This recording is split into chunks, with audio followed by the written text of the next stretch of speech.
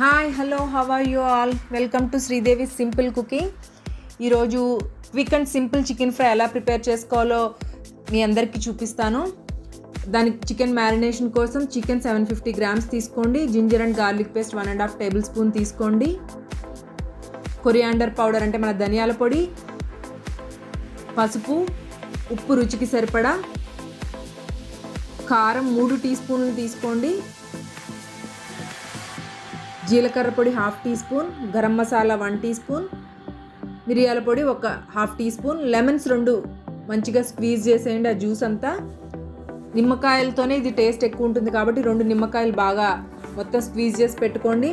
అలాగే vinegar two table spoons తీసుకోండి. ఇది ఎంత ఎమ్మీగా ఉంటుందంటే ఈ చికెను.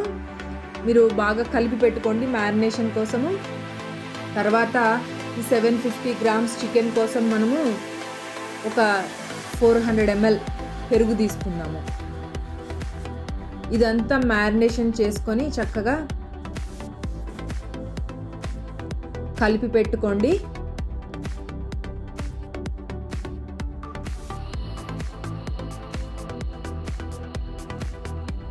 ఇప్పుడు దీన్ని క్లోజ్ చేసేసుకొని వన్ అవర్ రిఫ్రిజిరేట్ చేసుకుంటాం అనమాట ఎంత సింపుల్ అంటే మ్యారినేషన్ ఫ్రిడ్జ్లో పెట్టుకోండి. ఒక గంట నుంచి నాలుగైదు గంటల వరకు నో ప్రాబ్లం. మనం దీన్ని చక్కగా మ్యారినేషన్ చేసేసుకొని మార్నింగ్ మ్యారినేషన్ చేసుకొని ఈవినింగ్ ఆఫీస్ నుంచి వచ్చాక వర్కింగ్ ఉమెన్ చాలా ఈజీగా ఉంటుంది. డైరెక్ట్గా మనం ప్యాన్లో వేసి కుక్ చేసేసుకోవడమే ఫ్రెండ్స్ చాలా ఈజీగా ఉంటుంది. చాలా quick and tasty chicken. Refrigerate చేసేసుకోండి ఇలా పెట్టేసుకొని.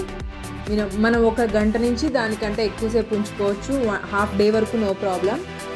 తర్వాత ఒక త్రీ టేబుల్ స్పూన్ ఆయిల్ వేసుకొని మీరు చికెన్ ప్యాన్లో వేసే ముందు బాగా కలిపి పెట్టుకోండి.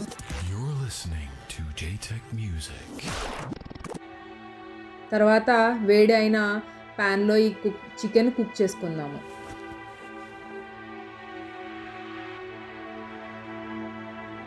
ఇది ఎంత ఈజీగా ఉంటుందంటే బ్యాచిలర్స్కి కానీ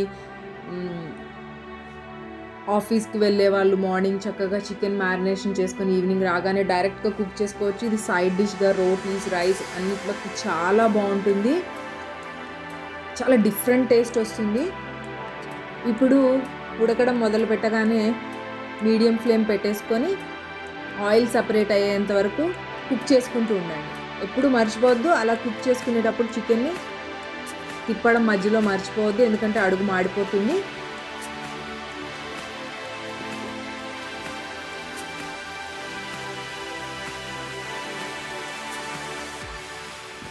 చూసారు కదా ఫ్రెండ్స్? జాగ్రత్తగా సైడ్స్ నుంచి తిప్పుతూ కుక్ చేసుకోండి.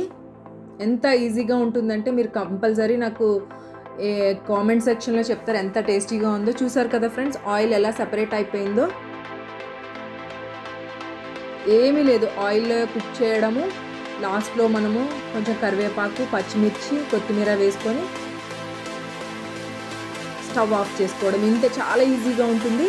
మీరు ఇప్పుడు కరివేపాకు వేసిన దగ్గర నుంచి హై ఫ్లేమ్లో ఒక టూ మినిట్స్ హై ఫ్లేమ్లో కుక్ చేసుకోండి. ఎప్పుడైతే ఆయిల్ బయటకు వచ్చిందో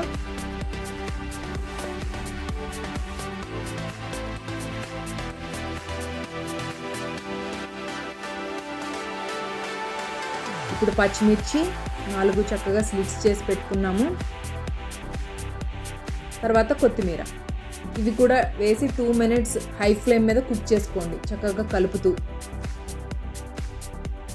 ఎంత బాగుంటుంది అంటే మీరు గెస్ట్ వచ్చినప్పుడు ఇలాంటివి చేస్తే మీకు చాలా ఈజీగా ఉంటుంది చాలా టేస్టీగా ఉంటుంది. అంతే స్విచ్ ఆఫ్ చేసేసుకోండి. మీ ఫేవరెట్ రైస్ ఆర్ రోటీతో సర్వ్ చేసుకోండి. Thank you friends thanks for watching please subscribe to my channel